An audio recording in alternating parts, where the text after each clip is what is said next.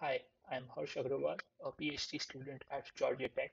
In this tutorial, we will look at how to set up interactive tasks in Habitat Lab and train an RL agent to solve such tasks.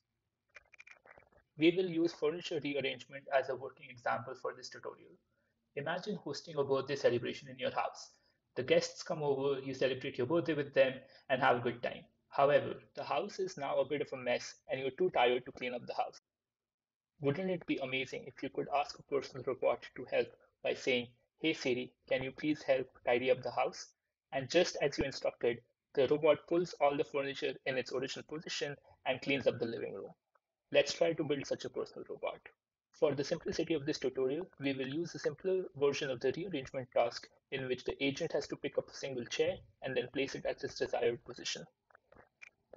We will be using Colab to go over the tutorial in the previous tutorial on interactivity in Habitat Simulator, we looked at how to add and interact with objects using the Habitat Simulator Python API. We will use those methods to spawn the agent and objects at some predefined initial configuration.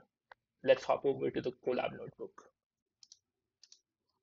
We will not go over every detail and implementation, but feel free to pause this tutorial and go over these step by step by cloning the Colab notebook.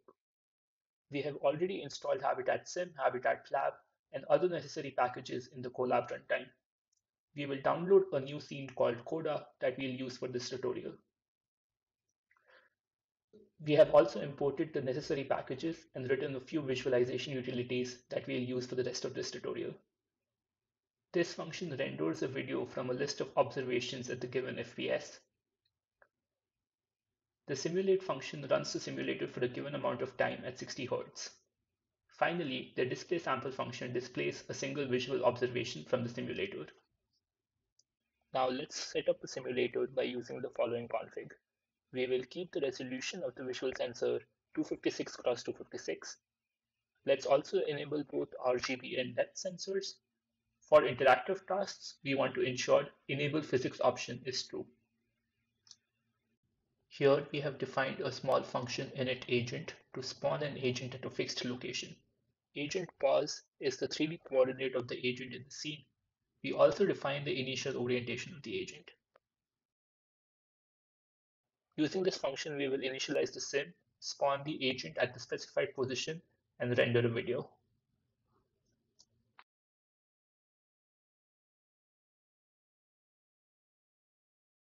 Now that we have set up the simulator, let's look at how to create a dataset to train an RL agent on. As mentioned in the previous tutorial on the navigation task, a dataset class contains a collection of episodes. Each episode, which is a single instantiation of the task, will contain agent and object specifications. The dataset class will then define several utility functions to read the dataset and load the episode in the simulator. Since we want to train an agent on a single episode, we will keep things simple. We will put a chair in front of the agent and the agent will be tasked with picking the chair, going forward for a few meters, and then placing the chair at its desired position. Here we define a function set object in front of agent, which adds an object defined by variable object ID in front of the agent at some distance defined by variable z offset. Since the agent is looking in the negative z direction, to put an object in front, we just need to define the offset in that direction. We also need to make sure that the object is placed on top of the surface and not intersect with it. We do this by raising the bounding box of the object until the bottom corners of the bounding box lie just over the surface mesh. For our single episode, we will use this function to put a chair at its initial position, which is 3 meters in front of the agent. The final position of the chair is 7 meters in front of the agent. Let's render the chair at its initial and final position in this video. Now that we have created an episode, let's define a formal episode definition. This is what a single episode definition will look like. First, we want to store which scene the episode belongs to. Next, we want to store the initial position and the orientation the agent will be spawned in at the beginning of the episode. Then we want to define the initial spawn location and orientation of the object as well as the type of object. Finally, we want to specify the desired goal location of the object. The goal location will also be described by the position and rotation of the object. We will use the JSON format and write utility functions to serialize the episode into a file. This function initializes the episode dictionary with the scene ID and the agent's spawn location. This function will store the type as well as initial position and orientation of the object. This function will add goal information to the dictionary. The function build episode queries all the relevant information from the simulator and creates the episode dictionary. Let's run this cell to store the dataset into a JSON file. We will now define several episode and dataset related classes to read the episode information from the JSON file. The class rearrangement spec will be used to store the object's initial and final configuration, that is, its position and rotation. We then extend and define another class rearrangement object spec to also include information about object's type that will be used to add the object into the scene at the start of the episode. Next, we extend the navigation episode class to include two variable objects of type rearrangement object spec and goals of type rearrangement spec. Navigation episode already defines the necessary attributes for identifying the scene and agent's initial configuration. Finally, we extend the PointNav dataset class to create rearrangement dataset class. One of the functions we need to override is from JSON function in which we have to specify how to read the JSON file and initialize the rearrangement episode.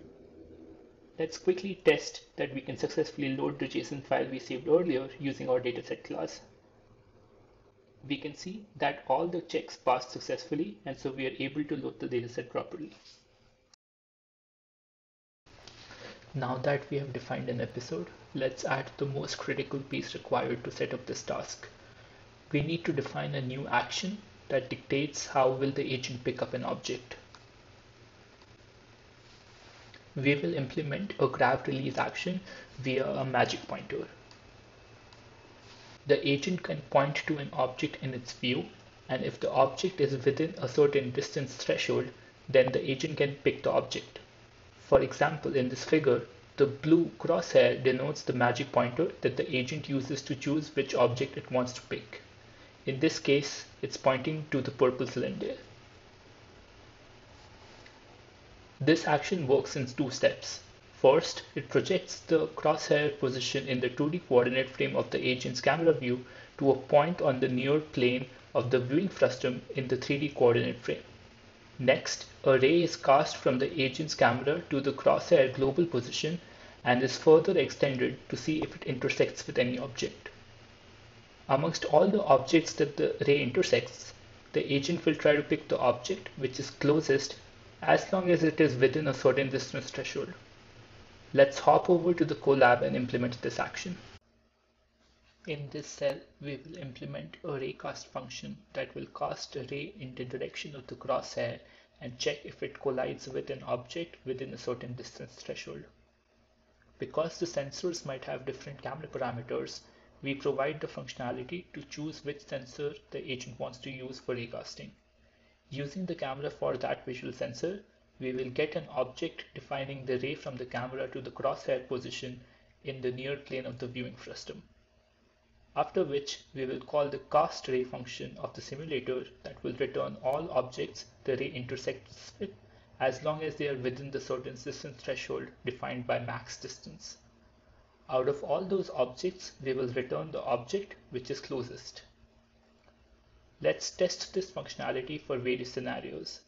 The first scenario is when there is an object under the crosshair at 128, 190 in a 256 cross 256 resolution viewport. Next, we will reduce the distance threshold from 2 meters to 1 meters. In the third scenario, we will change the crosshair position to be the center of the screen. We can see that in the first scenario, the agent can pick up the chair. If we reduce the threshold to 1 meter, the function will return minus 1 indicating that no object is grippable. If we change the crosshair to be the center of the screen, then again the function will return that there are no grippable objects. This cell registers the raycast function as an action by defining an action spec and the corresponding actuation spec which contains the action specifications like crosshair position, distance threshold, etc. We extend the navigation action space consisting of forward, turn left, turn right, stop to include this new grab release action. Now we will extend the simulator class to implement a few task specific modifications to the step function of the simulator. Here we will extend the habitat sim class for the rearrangement task. We first define a new initialize objects function which will load the object in its initial configuration as defined by the episode. Then we define a grep object ID property that stores whether the agent is holding any object or not. Since we added a new action for this task, we have to modify the step function to define what happens when grab release action is called. If a simple navigation action like move forward, turn left, turn right is called, we pass it forward to act function of the agent, which already defines the behavior of these actions. For the grab release action, if the agent is not already holding an object, we first call the raycast function using the values from the actuation spec to see if any object is grippable. If it returns a valid object ID, we put the object in an invisible inventory and remove it from the scene. If the agent was already holding an object, grab release action will try release the object at the same relative position as it was grabbed.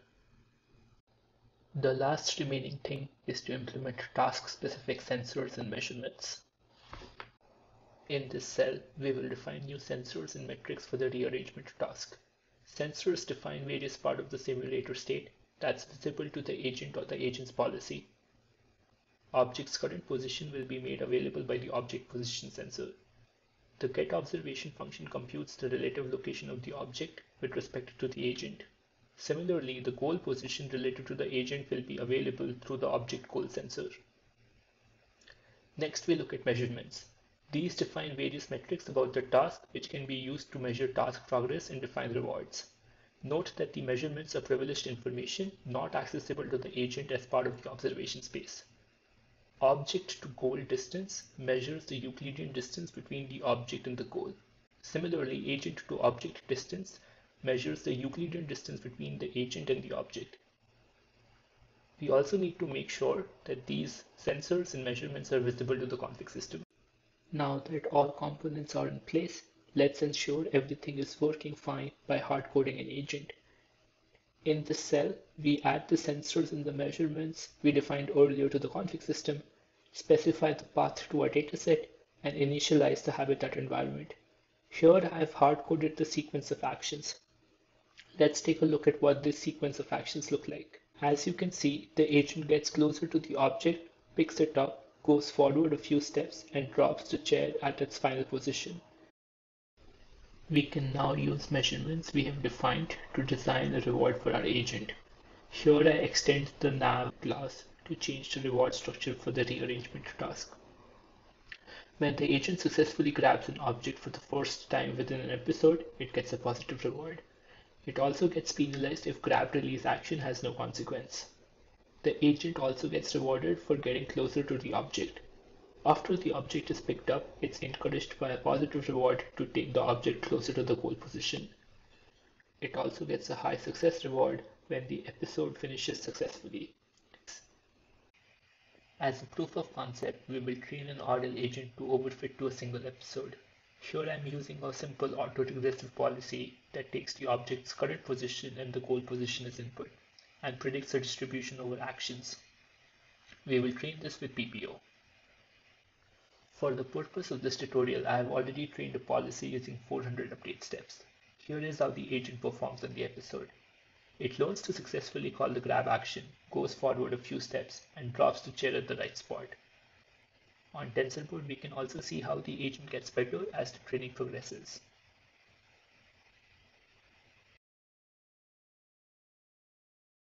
This marks the end of the tutorial. I hope through this tutorial you were able to get a sense of how to set up interactive tasks in Habitat Lab. This Colab notebook is publicly available and we encourage you to use it as a blueprint for your own interactive tasks. Thank you.